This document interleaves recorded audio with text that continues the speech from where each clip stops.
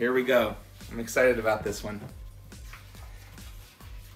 So I built this sheet of plastic. I had a transparency in the office and I cut out some vinyl and I made this. It looks like all these lines, these parallel lines, right?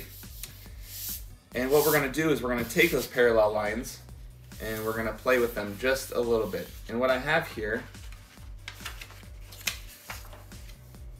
is a circle. I just realized I have some crud on it. I don't know where I got, I was trying to hide it, but I have to move my hands. So I've got this. Last night was pizza night. We had pizza last night. We made pizza. And that looks like pizza. sauce. So it does look like pizza sauce. All right, so what we have here, this is, I think they say moire pattern. I think I'm saying that correctly. M-O-I-R-E apostrophe. Um, and what we're gonna do is I'm gonna set this on top of it and I just want you to watch what happens.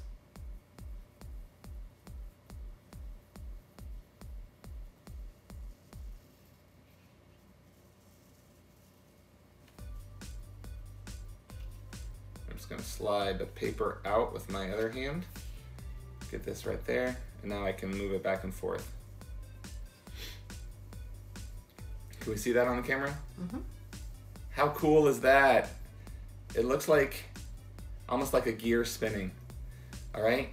And what's happening is is this pattern combined with this pattern allows us to see the motion. And you can see right here, it's not some sort of trick. I'm just going over the bottom of it. You can see the bottom half spinning and the top isn't moving. So I printed out a couple of these.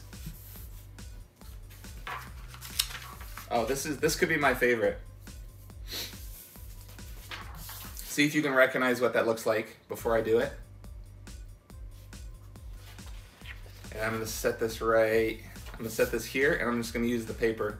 Oh, okay. I was gonna say which one. Here we go. He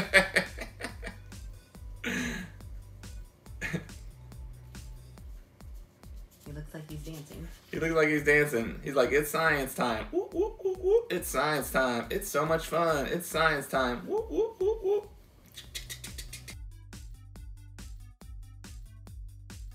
How cool is that? All right, I've got one more of these.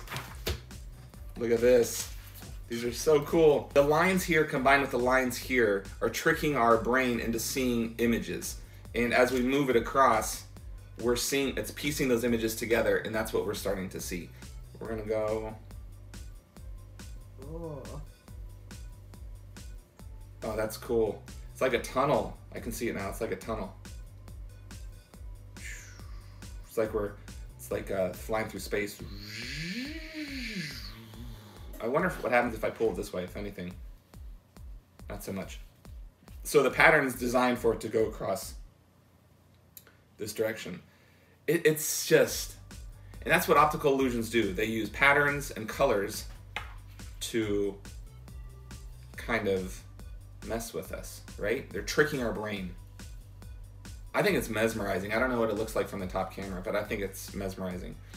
All right, so these are the more, I'm gonna say moire pattern. I'm, I might be saying that wrong incorrectly. I apologize.